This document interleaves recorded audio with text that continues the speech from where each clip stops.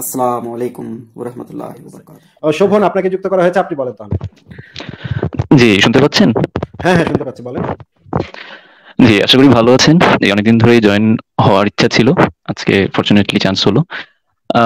আমার কিছু কোশ্চেন ছিল। আমি বেসিক্যালি বলতে পারেন যে by born Muslim so Muslim এভাবে ডিরেক্টলি বলব না কারণ বাই বর্ন কোন একটা রিলিজন হলে ডেফিনেটলি সেটা হয় না until unless you follow it so আমার মেইন এটা কে বলেছে যে বাই বর্ন ইসলামের আকিদা হচ্ছে প্রত্যেক মানব শিশু ফিতরাতের উপরে জন্মগ্রহণ করে। এটা নবী মোহাম্মদের কথা। ফিতরাতটা হচ্ছে ইসলামের ফিতরাতের উপর জন্মগ্রহণ করে। প্রত্যেক মানব শিশুই হচ্ছে মুসলিম। ইসলামের আকিদা হচ্ছে প্রত্যেক মানব শিশু মুসলিম কিন্তু পরিবারের চাপে অনেকে ইহুদি নাসারা কাফের হয়ে যায় কিন্তু প্রত্যেক মানুষই আসলে মুসলিম। এটা হচ্ছে ইসলামের আকিদা। আপনি এটা কোথায় পাইছেন যে এটা হচ্ছে ভাই কমন সেন্স থেকে একটু কথাটা শুনে নেন কথাটা শুনে নেন। ইসলামের আকিদা হচ্ছে প্রত্যেক মানব শিশু ভাই আপনার এখান থেকে খুব ঘ্যাস ঘ্যাস শব্দ হচ্ছে। আচ্ছা এখন হচ্ছে? এখন কমেছে। ইসলামের আকিদা হচ্ছে প্রত্যেক মানব শিশু ইসলামিক ফিতরাতের উপরে জন্মগ্রহণ করে। কিন্তু আপনি বলছেন যে মানে মানব শিশু নাকি আপনি নাকি ধর্ম পালন করলে তখন মুসলিম হবেন। কিন্তু এটা তো ইসলামের আকিদা না। আপনি এটা পাইছেন কোথায় সেটা জিজ্ঞেস করেছি। এটা হচ্ছে মানে নিজস্ব সেন্স থেকে পাওয়া। মেনলি আমি এটা কোনো মানে ইয়ে থেকে না বিকজ আমি যেটা দেখছি যে একটা মানুষ যখন জন্মগ্রহণ করে তখন ডেফিনেটলি তার জ্ঞান শূন্য থাকে। তো সেই শূন্য জ্ঞান থেকে তার ভেতর যখন আস্তে আস্তে জ্ঞানগুলো আসে তখন একটা মানুষের একটা ধর্ম বা একটা বিশ্বাস এটা ক্রিয়েট হয়। কিন্তু মানে আমি যদি এখন ব্লাইন্ডলি একটা কিছু ফলো করি সেক্ষেত্রে ডেফিনেটলি এটা মানে লজিক্যাল শোনায় না। এই জন্য আমি বললাম যে আমি বাই বর্ন মুসলিম বলতে পারেন বাট বিশ্বাস অবিশ্বাস এটা তো মানে পরের কথা। কিন্তু আচ্ছা, ঠিক আছে আপনি কি কি তাহলে মানে কোরআন হাদিস এগুলো কি পড়ে দেখেছেন? নিজে যাচাই করে দেখেন জি আমি কোরআন হাদিস পড়ে দেখেছি ইভেন আমি অনেকখানি ফলো করতাম একটা সময়। বলতে পারেন যে মানে ইভেন আমার ধরুন অনেক আগে থেকে scientific indication in holy Quran ছাড়াও আরও অনেক বই পড়া হয়েছে ইভেন অনেক রেফারেন্স ঘাটানো হয়েছে এখন পর্যন্ত। কিন্তু আমি যেটা এখন পর্যন্ত দেখলাম যে পজিটিভ নেগেটিভ দুই দিকেই অনেক লজিক আসে। এথিস পার্সপেক্টিভ থেকেও লজিক আসে অনেক। অ্যান্ড ডেফিনেটলি মুসলিমদের পার্সপেক্টিভ থেকে ইমোশনাল লজিক বেশি আসে। তাহলে ভাই কিছু জায়গায় তাহলে ভাই আজকে আপনি যেহেতু আমাদের সাথে যুক্ত হয়েছেন আপনি এমন কিছু আমাদের সামনে উপস্থাপন করেন যেটা আমাদের বিরুদ্ধে যাবে মানে নাস্তিকদের বিরুদ্ধে যাবে এবং ইসলামের পক্ষে যাবে। এমন একটা বিষয় নিয়ে যদি আপনি আমাদের সাথে আলোচনা করেন তাহলে আমরা সেটা নিয়ে একটু আলোচনা এমন কোন লজিক যেটা আপনার কাছে রিজনেবল মনে হইছে মুমিনদের বিশ্বাসীদের এমন কোন লজিক যেটা আপনার কাছে রিজনেবল মনে হয় সেটা নিয়ে আপনি আলোচনা করতে পারেন। বেস্ট ওয়ান বেস্ট ওয়ান বলবেন এমনটা বলবেন না যেটা দুই মিনিটে উড়ে যাবে সেমন এমন কোন জিনিস দিয়েন না। আমি চেষ্টা করব। মুমিনদের পক্ষ থেকে বেস্ট যেটা যুক্তি সেটা আপনি দিবেন হ্যাঁ? জি আচ্ছা। মেইনলি মেইনলি তিনটা জিনিস নিয়ে আমি যেটা দেখেন যে মোস্ট অফ দ্য টাইম এথিস্টরা যেটা কোশ্চেন করে যে একটা কোরআনের সত্যতা প্রমাণের জন্য যে show some miracles from Quran যে কোনো এটা তো কেউ এটা তো আমরা কেউ মানে কখনো বলি না show some miracle from Quran এটা তো আমরা কখনো কেউ বলি না। যে কোশ্চেনগুলো দেখি। না না কোন একটা গ্রন্থে মনে করেন একটা কিছু একটা এমন কিছু আছে যে বইটার ভিতরে যেটা মনে করেন অন্য বইগুলোর ভিতরে নাই। তাতে তো এটা প্রমাণ হয় না যে এই বইটা আল্লাহ থেকে এসছে। মনে করেন পিথাগোরাসের উপপাদ্য প্রথম যে বইটাতে লেখা হয়েছে। এর আগে তো পিথাগোরাসের উপপাদ্য কোথাও ছিল না তাই না? তার মানে তো আমরা বলতে পারি না যে পিথাগোরাসের উপপাদ্য হচ্ছে একটা পিথাগোরাসের বইটা হচ্ছে একটা মিরাকুলাস বইটা তো আমরা বলতে পারি না। বা মনে করেন নিউটনের যে ম্যাথমেটিয়া প্রিন্সিপিয়া বইটা সেই বইটা প্রথম যখন নিউটন লিখলেন তখন সেই বইটা এর আগে তো এই জিনিসগুলো মানুষ জানতো না। এই গতিসূত্র তারপর অন্যান্য সূত্র সূত্র এগুলো তো মানুষ জানতো না। প্রথম যখন তিনি লিখলেন তার আগে তো এই এই বই এই জিনিস সম্পর্কে যেহেতু না জানার কারণে এটা এটাই এইখানেই প্রথমবার আসলো।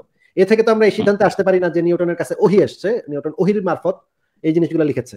কোনো একটা বইতে যদি কোনো নতুন জিনিস থাকে তার মানে তো এটা আমরা এইটা থেকে এই কনক্লুশনে আসতে পারি না যে এটা আল্লাহ থেকে বা ভগবান থেকে বা শিব থেকে অন্য কোথাও কোনো গ্রহ থেকে এটা আসছে, এই সিদ্ধান্তে তো আমরা আসতে পারি না। মিরাকুলাস বলতে আপনি কি বোঝাচ্ছেন? সেটা উপরে নির্ভর করে, তাই না? জি জি জি, ওটাতেই আমি আসছিলাম স্লোলি ফার্স্ট অফ অল কোরআনের যেরকম একটা আবু আবু দাওয়া বা লোকটার নাম আমার এক্স্যাক্টলি খেয়াল নাই। তাকে সেম কোশ্চেনটা করা হয়েছিল, যে তিনজন এথিয়েস্ট অথবা নিউট্রাল পার্সনই বলতে পারেন, যে কোশ্চেন করেছিল যে হলি কোরআন থেকে যে কোনো একটা বা তিনটা মিরাকেলস দেখান। সো সে অ্যান্সার যেভাবে করেছে আমি সেই জিনিসগুলোই বেসিক্যালি আপনাদের কাছে বলব যে আপনারা কীভাবে ব্যাপারগুলো আনসার করেন সেটাই হচ্ছে দেখার বিষয়টা আর কি।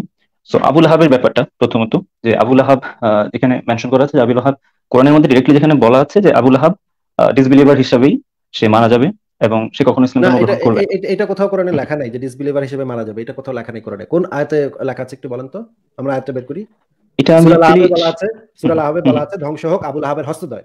কোরআনে এটাও বলা আছে আল্লাহ যখন যা বলেন সাথে সাথে তা হয়ে যায়। আল্লাহ হও বললে সব হয়ে যায়। কিন্তু। আল্লাহ পাক যখন বললেন হস্ত ধ্বংস হোক আবুল আহাবের হস্তদয় তখনও আবুল আহাবের হস্তদয় কিছুই হয় না এবং মৃত্যু পর্যন্ত আবুল আহাবের অন্তত হস্তদয় ধ্বংস হয় নাই। আচ্ছা।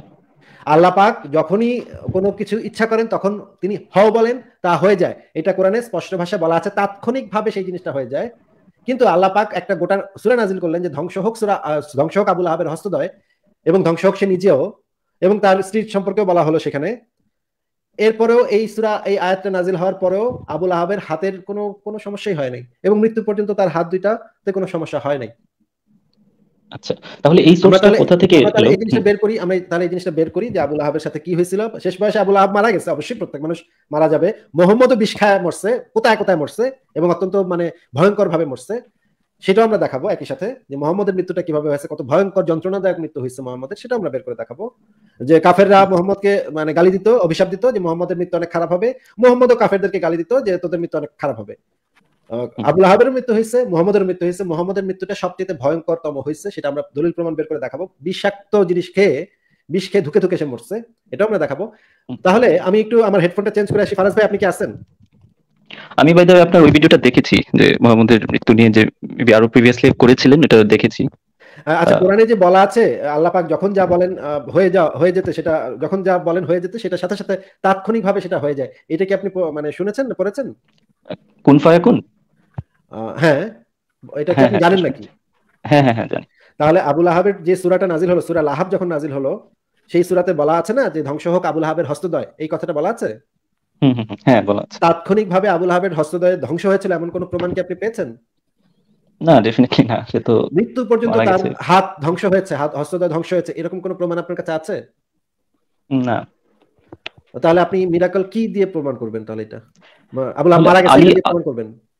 আচ্ছা আলী দাওয়া লোকটাকে তো বোধহয় চিনেন আমি ভাই চিনি না ভাই। আপনি যেটা প্রমাণ করবেন আপনার প্রমাণটা নিয়ে আপনি আপনার প্রমাণের সাথে তো মানে আর কি দাবি তো আমি- দাবিটা করতেছেন যে কোরআনে বলা হয়েছে যে আহ, আবুল আহাব কখনো ইসলাম ধর্ম গ্রহণ করবে না।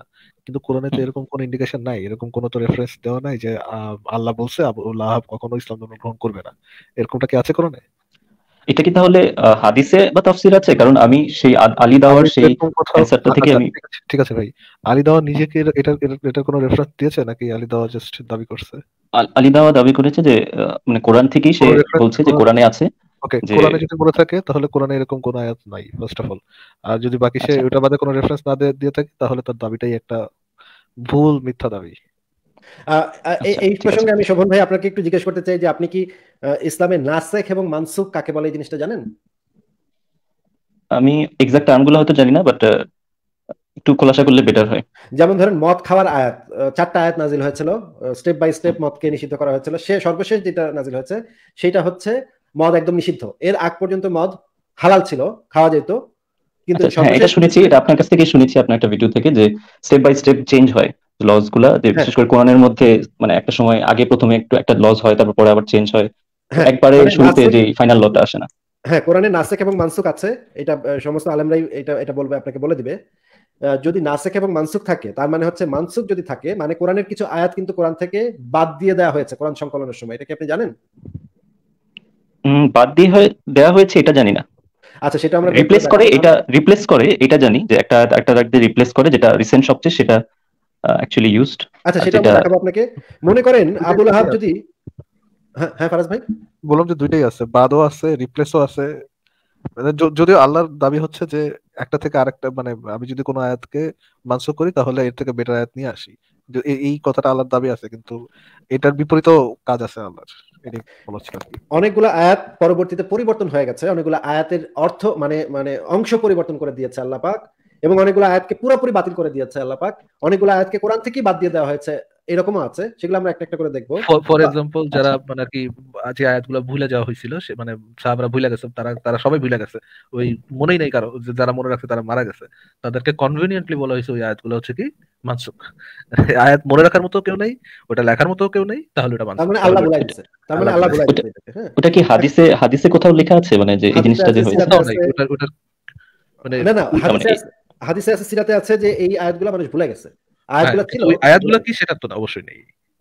কয়েকটা আচ্ছা। আয়াতের খণ্ড বিখণ্ড আছে কয়েকটা আয়াতের খণ্ড বিখণ্ড আছে যে এই শব্দটা আমার মনে আছে। অনেকে বলেছে যে এই শব্দ এই আয়াতে এরকম একটা আয়াত ছিল এই শব্দটা আমার মনে আছে কিন্তু আয়াতটা বিলা গেছি। এইভাবে আছে কিন্তু এক্স্যাক্টলি যে আয়াতটা ছিল সেটা নাই। তো যাই হোক আমি আপনাকে সেগুলো দেখাবো। তার আগে আমি যে জিনিসটা বলেন যে জিনিসটা আমি পয়েন্ট আউট করতে চাচ্ছিলাম সেটা হচ্ছে আবুল আহাব যদি পরে মুসলিম হয়ে যেত তাহলে তো আল্লাহ পাক আরেকটা আয়াত নাজিল আরেকটা সূরা নাজিল করে বলতে বলতে পারতো যে ওই আয়াতটা আগের আয়াতটা মানসুখ হয়ে গেছে এইটা নাও নতুন আয়াত দিলাম। প্রশংসিত আবুল আহাব তোমার হাতে ফুল চন্দন করুক। এরকম তো একটা আয়াত নাজিল হতেই পারতো কারণ ইসলামে তো এই বিধানটা আছে যে আগের আয়াতটা বাতিল করে দিয়ে নতুন আয়াত তার থেকে উৎকৃষ্ট আয়াত নাজিল হওয়া যেটাতে আগের আয়াতটা বাতিল হয়ে যায়। এরকম তো বিধান তো ইসলামে আছে তাহলে তো এরকম তো হইতেই পারতো নাকি?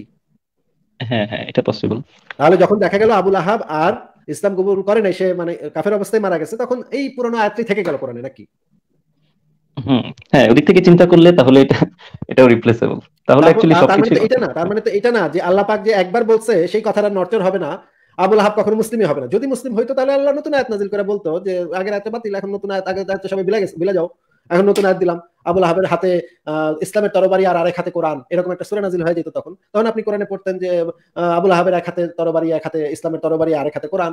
এরকম আয়াত পড়তে পারতেন আপনি হইতেই পারতো এরকম ঘটনা। আচ্ছা এই কথা সূত্র ধরেই তাহলে আরেকটা কথা বলি সেটা হচ্ছে যে সেই তিনটা অ্যান্সার তিনটা মিরাকেলের যেটা কথা বলেছে সেটা আরেকটা সেকেন্ডটা ছিল যেটা সেটা হচ্ছে সুরা রুম হ্যাঁ, কিন্তু কিন্তু এই এই জিনিসটা তো মিরাকেল হিসেবে কীভাবে গণ্য হইতে তো পারে না। আপনি কি আপনার কি মনে হয়? এটা কি ইসলামের মিরাকেল না এখন মানে যেহেতু যে যে রিপ্লেসেবল যে আয়াতের কথা বললেন মানে এই লজিকে চিন্তা করলে এটা মিরাকেল হিসেবে কাউন্ট হয় না। কারণ যদি চেঞ্জেবল হয় একটা আয়াত যদি রিপ্লেসেবল হয় তাহলে মানে এটা তো আর মিরাকেল হিসেবে কাউন্ট করা যায় না। বাট এটা যেহেতু সে মৃত্যুর আগ পর্যন্ত ডিসবিলিভার ছিল সো এটা মিলে গেছে এইভাবে চিন্তা করা যায়। মানে তার লজিকে আর কি। তো এটা আমি কাউন্ট করলাম না কিন্তু সুরার রোমের মধ্যে আপনার আপনার একটা প্রফেসি বলতে পারেন যে রোম রোমের যুদ্ধে রোমানরা তারা হচ্ছে জিতে যাবে আচ্ছা হেরে যাবে তারপর কিছুদিন পর জি জি একটু চিন্তা করেন তো একটু মানে সিমিলার জিনিসটাই একটু ব্যাকওয়ার্ড চিন্তা করেন তো দেখেন তো কেমন হয়েছে। ধরেন চোদ্দশো বছর আগের ওই সময় আপনি কোন একটা কাফের বই পাইছেন এবং কাফের বইতে কোনো এক কাফের বলে গেছে, নবী মোহাম্মদ কখনো ইহুদি ধর্ম গ্রহণ করবে না বা নবী মোহাম্মদ কখনো পৌত্তলিক হয়ে যাবে না আবার- পৌত্তলিক ধর্মে ফিরে ফিরে আসবে না। ওরকম যদি কোনো একটা বইতে এরকম লেখা থাকতো, তাহলে কি ওই গ্রন্থটা কোনো একটা মানে অলৌকিক গ্রন্থ বলে আপনি মনে করতেন? না ডেফিনেটলি না। ওই সময়কার যারা লিডার্স বা যারা হচ্ছে হেড তারা তো নবী মোহাম্মদকে ফলো করবে না বা ওই যে তাকে সত্য বলে মেনে নিবে না। এটা তো খুব অস্বাভাবিক কোনো কিছু না। যেটাকে আমরা হ্যাঁ। মিরাকল হিসেবে দেখাইতে পারব মিরাকল হিসেবে প্রকাশ করতে পারব। এরকম তো কোনো কিছু না। হ্যাঁ লজিকটা যেটা দেওয়া হয়েছে যে আবুল হাব শুধু একটা কাজই করতে পারতো যে আয়াতটা খণ্ডানোর জন্য সে যদি ইসলাম ধর্ম গ্রহণ করে ফেলতো তাহলে পুরো সবকিছু মিথ্যা হয়ে যেত কারণ কোরআনে ডিরেক্টলি বলা আছে এটা- এটা করতো কেন? মানে তারা এটার জন্য তো নবী মোহাম্মদকে তাদের এমন লোক দেখতে হবে যে সে ওয়ারলর্ড না সে হচ্ছে প্রফেসিকারী কিন্তু নবী মোহাম্মদ এমন ছিল না। নবী মোহাম্মদ ছিল তো ওয়ারলর্ড নবী মোহাম্মদ দেশ থেকে মানে গোত্র থেকে গোত্র কঙ্কারিং করতেন। এখন যে এরকম একটা কঙ্কারার তার কাছে যে যদি আপনি মাথা নত করেন তাহলে আপনি আপনার গোত্রের কাছে কি সম্মানিত হবেন? নাকি আপনার গোত্রের কাছে আপনার লজ্জিত হবেন? কোনটা? হ্যাঁ লজ্জিত যদি যদি আমি আমাকে প্রকাশ করতাম এজ এ প্রফেসি মেকার তাহলে আপনি আমাকে বলতে পারেন বা এজ এ প্রফেসি মেকার বলতেছি এজ এ প্রফেট হিসাবে আমি নিজেকে ইয়ে করতাম। নবী মোহাম্মদ নিজেকে প্রফেট হিসাবে ইয়ে করে তো প্রফেসি করতেন না। উনি কুবাগুবি করতেন। উনি যদি বলতেন যে হ্যাঁ আমি প্রফেসি করলাম এই যে দেখো এই সময়কার মধ্যে এই এই এই কয়টা দিন এই কয়টা দিনের মধ্যে এই ঘটনা ঘটবে। যদি না ঘটে তাহলে আমার প্রফেসি মিথ্যা। এই কাজ তো উনি করেন নাই। কারণ জানে এই কাজ উনি করে পার পাবে না। এই কাজ করে উনি বিশ্বাসও পাবে না। উনি যেটা করতে পারবেন যেটা করতে তিনি। সূরা রোমের prophecy- আচ্ছা আচ্ছা শেষ করেন হ্যাঁ মানে এই প্রসিডিওরটা এই প্রসিডিওর তো তো মানে ইয়ে মানে মিরাকল প্রুফ করার কোনো প্রসিডিওর হইতে পারে না। বাট রোমানদের নিয়ে এটা কিন্তু একটা প্রফেসি ছিল। এইটা প্রফেসিটা ছিল রোমানদের যে যুদ্ধটা নিয়ে এখানে একটা প্রফেসি ছিল যে আহ, রোমানরা যুদ্ধে হেরে যাবে। তারপর হেরে গিয়ে তাদের আবার বিজয় আসবে। এবং দেখা যায় যে বেশিরভাগ প্রফেসির টাইম লাইনটা কত ছিল? যে কবে এটা প্রফেসি প্রফেসির টাইম লাইনটা ছিল বোধহয় আহ, সাত থেকে নয় বছর। সাত থেকে নয় বছর পরে গিয়ে এই জিনিসটা যারা যারা যখন প্রফেসি করা হয়েছিল তখন নবী মোহাম্মদকে কোনো ইয়ে টাইম টাইম দিয়েছিলেন যে এই টাইমের মধ্যে এই না, কমপ্লিট হবে। স্পেসিফিক টাইম লাইন ছিল নবী মোহাম্মদ তো গাজওয়াতুল হিন্দের কথা বলে গেছিলেন বলে গেছিলেন না? গাজওয়াতুল হিন্দটা যেন কি? গাজওয়াতুল হিন্দ ইন্ডিয়াকে মুসলিম মুসলিমের আন্ডারে নিয়ে আসা। ইসলামে মানে ইন্ডিয়াতে ইসলামিক হুকুমত কায়েম হওয়া আর কি আচ্ছা। তো এইটাও তো প্রফেসি এই প্রফেসি কি ফিল আপ হয়েছে ফিল আপ হয় নাই নাকি এটা কবে? কখন কোন লিমিটার কোন টাইম আচ্ছা ফারাজ ভাই আমার এই হেডফোনটা ব্লু- ইয়া চার্জ শেষ হয়ে গেছে। আমি জাস্ট একটা জিনিস একটু দেখাই আমার কথা কি শোনা যাচ্ছে ফারাজ ভাই? পারফেক্টলি শোনা যাচ্ছে। হ্যাঁ হ্যাঁ শোনা যাচ্ছে। হ্যালো আমি আপনার কথা শুনতে পাচ্ছি না। পারফেক্টলি শোনা যাচ্ছে। শুনতে পাচ্ছেন না? ভাই আবার একটু কথা বলেন তো। হ্যাঁ ভাই পারফেক্টলি শোনা যাচ্ছে। আপনার ইউ আর অডেবল ভাই। আপনার কথা পুরোপুরি শোনা যাচ্ছে। আচ্ছা আমি আপনার কথা কিছু শুনতে পাচ্ছি না আমি একটু বের হয়ে আবার ঢুকতেছি কিছুক্ষণ পর। ফারাজ ভাই আমি একটা স্ক্রিন শেয়ার দিয়ে গেছি। আচ্ছা আমি একটু কথা বলে তাহলে চলে যাই। আমি কারণ আমি আপনাদের কথা শুনতে পাচ্ছি না। আপনারা কেউ কিছু বললেন না আমি একটু কথা বলে চলে যাচ্ছি। কারণ আমার হেডফোনের চার্জ শেষ হয়ে গেছে আমার চার্জ দিতে হবে। আমি দুইটা জিনিস একটু দেখা যাই আহ, ফারাজ ভাই আপনার কথা কিন্তু আমি শুনতে পাচ্ছি না। এটা একটু দেখেন। বুখারি শরীফের হাদিস। আচ্ছা। এই হাদিসে যে জিনিসটা বলা আছে বুখারী শরীফের হাদিস যেহেতু সহি হাদিস এই হাদিসে বলা আছে পাঁচ হাজার তিনশো বিশ নম্বর হাদিস এখানে বলা হচ্ছে আবু হুরায়রা থেকে বর্ণিত। তিনি বলেন আলাইহি ওয়াসাল্লাম বলেছেন মদিনা নগরীতে প্রবেশ করতে পারবে না মসজিদ দজ্জাল আর নাম মহামারী। মানে মদিনা শহরে কখনো কোনো মহামারী বা প্লেগ প্রবেশ করতে পারবে না। পরের হাদিসটা দেখেন আহ, সহিহ বুখারী ইসলামিক ফাউন্ডেশন ছয় হাজার নয়শো পঁয়ষট্টি নম্বর প্লেগ মদিনার কাছে আসতে পারবে না ইনশাল্লাহ এই কথাটা বলা আছে। কিন্তু মদিনাতে অসংখ্যবার প্লেগ ছড়ায় পড়ছে। এটার অসংখ্য উদাহরণ আছে। আপনি আপনারা যে কেউ গুগলে সার্চ করেন, মদিনাতে বহু সংখ্যক বার প্লেগ মহামারী ছড়ায় পড়ছে এবং মদিনাকে ইয়া পর্যন্ত ঘোষণা করা হয়েছে। এমনকি হজরত ওমরের আমলেই মদিনাতে প্লেগ ছড়ায় পড়ছিল। এই যে দেখেন, এই হাদিসের ভিতরে আবার বলা আছে, দেখেন। সহি বুখারী ইসলামিক ফাউন্ডেশন, দুই হাজার চারশো সাতষট্টি নম্বর হাদিস, এখানে বলা আছে, একবার আমি মদিনা আসলাম, সেখানে তখন মহামারী দেখা দিয়েছিল। এটা কিন্তু মোহাম্মদের পরের ঘটনা হ্যাঁ? এতে ব্যাপক হারে লোক মারা যাচ্ছিল। আমি ওমরের কাছে বসেছিলাম। এই ওমরকে তখন বলা হচ্ছে হে আমিরুল মুমিনিন। দেখেন এখানে ওমরকে বলা হচ্ছে আমিরুল মুমিনিন মানে হচ্ছে ওমর তখন খলিফা ইসলামের খলিফা। তার মানে এটা মোহাম্মদের মৃত্যুর পরে। মোহাম্মদ এখানে বলে গেছে যে মোহাম্মদ এখানে বলে গেছে যে রাসূলুল্লাহ বলে গেছে মদিনাতে প্রবেশ করতে পারবে না মসজিদ বলে। আজ্জাল আর না মহামারী। সেখানে ওমরের আমলে ওমর যখন খলিফা তখন মদিনাতে মহামারী দেখা দিয়েছিল এবং ব্যাপক হারে লোক মারা যাচ্ছিল। ওমরের কাছে বসেছিল। এটা হচ্ছে এক নম্বর কথা। দুই নম্বর কথা হচ্ছে কেয়ামত কখন হবে? সহি মুসলিম ইসলামিক ফাউন্ডেশন, সাত হাজার একশো চল্লিশ নম্বর হাদিস এখানে বলা হয়েছে। রসুল্লাহ সাল্লাহ সাল্লাম বলেন, আমি এবং কেয়ামত প্রেরিত হয়েছে এই দুই এর মতো মানে দুইটা আঙ্গুলকে দেখিয়ে বলেছে, এই দুইটার মাঝখানে যতটুকু ছিদ্র ততটুকু মানে খুব কাছাকাছি। আরেকটা হাদিসে বলা আছে সহি মুসলিম ইসলামিক ফাউন্ডেশন, সাত হাজার একশো বিয়াল্লিশ, এখানে বলা আছে, এক ব্যক্তি রসুল্লাহ সাল্লাহ সাল্লামকে জিজ্ঞেস করলেন, কেয়ামত কবে হবে? তখন তার নিকট মোহাম্মদ নামক এক আনসারি বালক উপস্থিত ছিল। রসুল্লাহ সাল্লাহ সাল্লাম বললেন, এ বালক যদি বেঁচে থাকে, তবে সে বৃদ্ধ হওয়ার পূর্বেই কিয়ামত সংঘটিত হয়ে যাবে। কিন্তু ওই বালক নিশ্চয় ময়রা এতদিনে ভূত হয়ে গেছে ওই মানে ভূত হয়ে গেছে বলতে আক্ষরিক ভাবে ভূত বোঝাচ্ছি না মানে বোঝাচ্ছি যে ওই বেটা ওই বেটা নিশ্চয়ই টেরা ওটা চোদ্দ মরে গেছে কিন্তু এখন পর্যন্ত কিয়ামত সংঘটিত হয়নি। ফারাজ ভাই আমি এই দুইটা দেখাইলাম এখানে মোহাম্মদের যে ভবিষ্যৎবাণী যেটা সম্পূর্ণ ভুল প্রমাণ হয়েছে। ফারাজ ভাই আমার হেডফোন কাজ করছে না আমি একটু কিছুক্ষণ পরে আবার আসছি।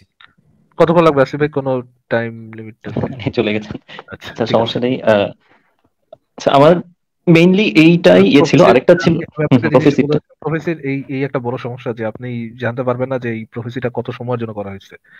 ধরেন ধরেন ইয়ে, ওটা যে আপনাদের ঈসা যে আবার ফেরত আসবে তারপরে আহ, আচ্ছা আসিফ ভাই তো আবার আসছেন। আসিফ ভাই একটা সেকেন্ড না না আমারটা ঠিক হয় নাই ভাই। আপনি ইয়ে কথা বলতে থাকেন আমি একটু আসতেছি। আচ্ছা ঠিক আছে। ধরেন আপনার আহ, ঈসা যখন ফেরত আসবে, তারপরে যখন আপনাদের আরেকজন ইমাম আছেন যিনি মানে আবার ইমাম মাহাদি ইমাম মাহাদি যখন আসবেন এগুলো তো প্রফেসি করা আছে, কিন্তু এই প্রফেসির কোনো টাইম লাইন দেওয়া নাই যে এত সময়ের মধ্যে ইমাম মাহাদি আসবে, এত সময়ের মধ্যে ঈসা আসবে। তো আপনি মানে হাজার বছর ধরে, কোটি কোটি বছর ধরে ওয়েট করতে পারেন যে কবে- ইমাম মাহাদি আসবে, কবে ই আসবে, এগুলোর কোনো টাইম লাইন থাকে না। আর ধরেন আপনি এক সময় না এক সময় যে ওটা হইল, তখন আপনি বলবেন যে আপনার ইয়া হয়ে গেছে মানে প্রফেসি মিলে গেছে। এইভাবে তো মানে যে কেউ যে কোনো কিছু করতে পারে যে কেউ যে কোনো কথা বলতে পারে যেটা একটা এক সময় যে হয়তো বা হইতেও পারে। ফর এক্সাম্পল কেউ যদি বলে যে একসময় বাঙালি কেউ যদি একসময় মানে এখন কেউ বলেছে যে একসময় বাংলাদেশ পুরোপুরি ইন্ডিয়ার আন্ডারে চলে যাবে। আর ইন্ডিয়া একসময় পুরোপুরি চায়নার আন্ডারে চলে যাবে। বলে গেল। সে টাইম লাইন দিয়ে গেল না। সে হাজার বছর পরে জিনিসটা হইতে পারে। এখন কি তারা আমরা প্রফিট বানবো যে সেই প্রফেসি করে গেছে জন্য সে একটা প্রফিট না সেটা ডেফিনেটলি না। তো কোরআনের ক্ষেত্রে ব্যাপারটা একটু ভিন্ন হয় কেন? কারণ কোরআন যেহেতু অ্যাকচুয়ালি ভিন্ন ইসলামের হয় ধরা হয় মেইন ভিন্ন হয় এই জন্যই কারণ ছোটবেলা থেকে আমাদেরকে এটা একটা স্পেশাল বুক হিসেবে পড়ানো হয়েছে। এই বায়াসনেসটা আমাদের ভিতরে গজায় গেছে। এছাড়া আপনি একটু আনবায়াসলি চিন্তা করেন যে এটার পিছনে আলাদা কোনো স্পেশালিটি দেওয়ার কোনো রিজন আছে কিনা কোরআনকে। যদি চিন্তা করেন তাহলে আপনি কোনো আর কোনো রিজন পাবেন না যে এটা এই জন্য স্পেশাল ছোটবেলা থেকে আমাদেরকে এটা স্পেশাল ভাবে দেখানো হয়েছে দেখে এটা আমাদের স্পেশাল এছাড়া এটা আলাদা কোনো স্পেশালিটি তো নাই। আপনি আমাকে বলতে পারেন এটা প্রিজার্ভড ওয়েল প্রিজার্ভড এটা বলতে পারেন। আমি আপনাকে এটার বিরুদ্ধেও বলতে পারব যে কেন এটা ওয়েল প্রিজার্ভড না।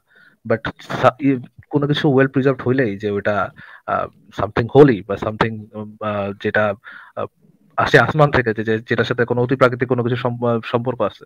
এরকম তো কোনো কোরিলেশন নেই। হ্যাঁ, সেটা ঠিক। আচ্ছা আমি